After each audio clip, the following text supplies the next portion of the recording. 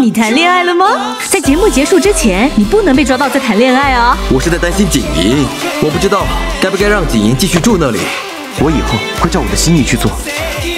大家好，我是吴英欣。你不是练习生吧？你没有经纪公司啊？合约一起终止，还有我们的关系就到此结束吧。谁准你随便结束的？周一至周五晚间十点到十二点，M Two 超能胶原饮，所以我和黑粉结婚了。